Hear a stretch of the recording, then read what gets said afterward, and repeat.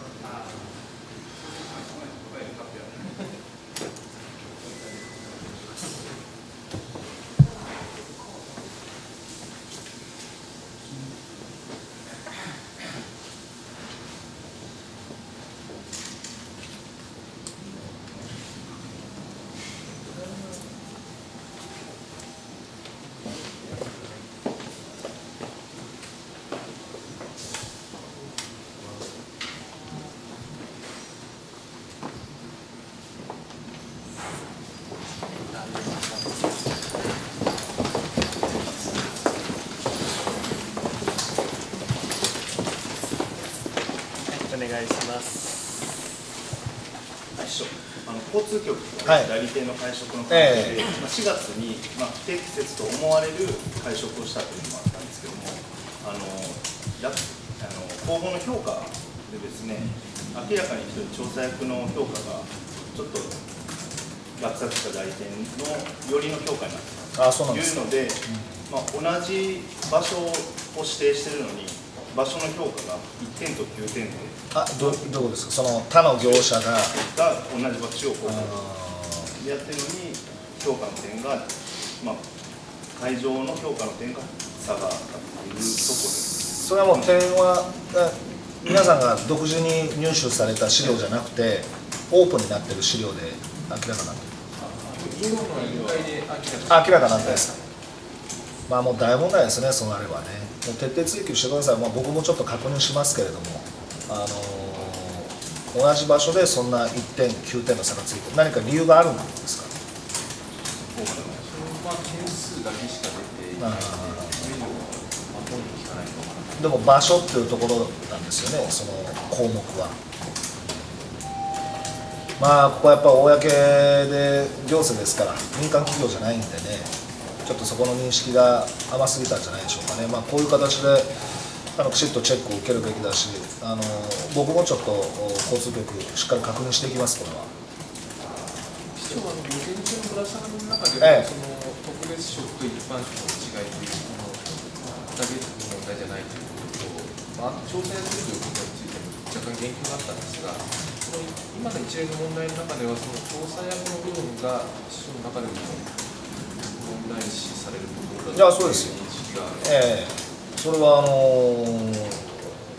特別職っていうところであのあのルールの対象外になってるのは政治活動が一つの理由となってね。僕らは公正職ですからそれいろんな付き合いがあるんででそのいろんな方の意見を聞くっていうことも仕事ですから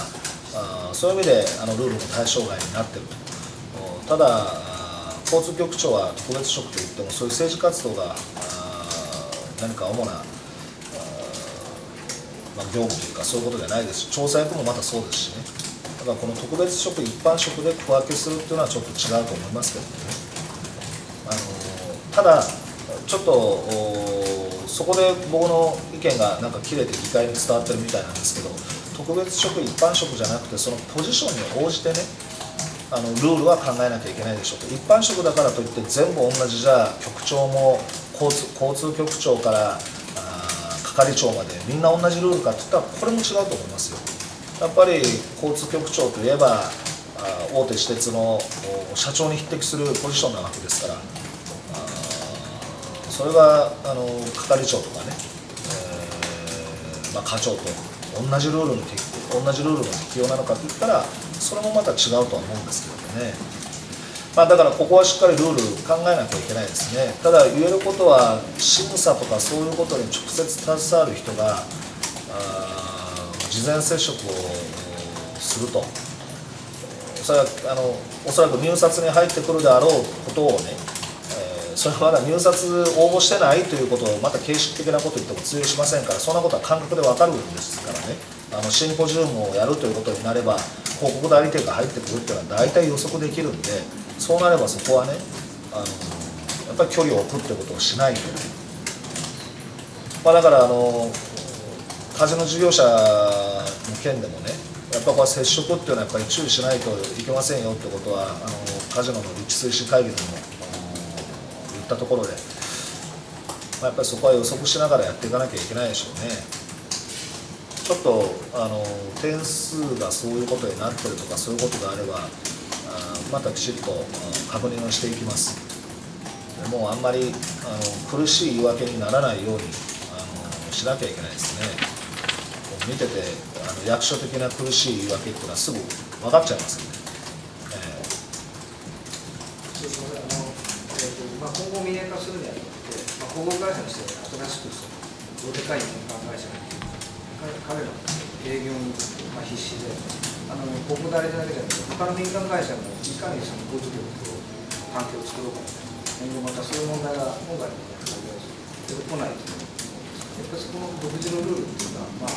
交通局の職員さんたちも自分たちの身を守るためにもちゃんとルールを出しておくいやいやだから僕は民営化したら今のこういう話っていうのは基本的にはもうなくなると思ってますよ。だからこういうルールはね、え、公の組織だから厳格に適用されるわけですよ。だからものすごい機動的な企業活動ができないわけであってあのー、民営化されてねえー、税でこう運営されるようなまたそのように思われもうその税とある意味切り離されたような団体になるんだったらあだからもっと自由にやったらいいと思うんですよ、まあ、あの最低限のルールは作っておいてね。だから今のまさにこういうルールがダイレクトに交通企業体交通事業体にね適用されるっていうことがやっぱりそもそもおかしいところはおかしいんですよ。こんなことやってたら他社と競争なんかできないですから。だって行政組織っていうのは別にどっかと競争する必要ないわけだから厳格ないろんなルールで縛っていいと思うんですよ。でも交通企業体っていうのはやっぱり他社との競争っていうものがあるわけですからね。この行政組織に適用されるルールをそのまんまあの交通事業体に適用してるってことがおかしいからだから民営化だってことを言ってるわけでね。あのあのだからだだからといって今回のことをあの言い訳にしちゃあの言い訳するつもりはありません。あのまだ今は大阪市交通局という行政組織の中の部署なわけですからあ行政のルールを適用する厳格に適用する。これはもうあの言い訳できないことですけども。でもそれを交通企業体という、まあ、いわゆるいわゆる事業体にねこの行政のルールというものを当てはめると非常にあの不都合が生じるということの一つの例だと思います。だからこういうことを外すためにもね民営化ってことが必要だと思うんですけどね。一般の営業行為ってことであれば普通にあることだと思いますよ。民間企業であれば。通常の営業行為ってことでね。だからこれは公だからこれは大問題なんだそこの認識がやっぱりきちっと調査役あの持ててなかったんでしょうね。これは藤本局長が連れてきたということであればそこの指導が不徹底だったと思います。これはもう僕も民間にいる時とこの中にいる時でそれは営業行為を受けて大体普通はどんな接待を受けたかいい接待を受けたところに仕事を持っていくとかそんなの普通ですよ。そんなのはね民間だったら。でもそれは公では絶対やっちゃいけないっていうね。このもう何て言うんですかね。絶対そこはあの埋めることができないこの溝みたいなところもね認識が藤本局長とその調査役なかったでしょうね。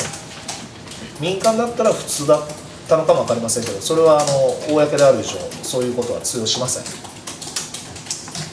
交通局の調査に関してはね、局でやるということらしいんですけど、これ、局でも藤本さんがその調査役を連れてきたということであればね、局での調査ではなかなか難しいところもあるかと思うんですが、なんか市長として、外部調査使います。また外部調査使わないで言っといてもらえますかね。はい。やります。それは局長自身も調査の対象なんですから、ね、あのこれはしっかりやります。僕の責任で。あの僕も全部逐一あの報告受けてるつもりですけどもあのしっかりこれはあのメディアの皆さんにチェックしてもらいたいと思いますのでお願いします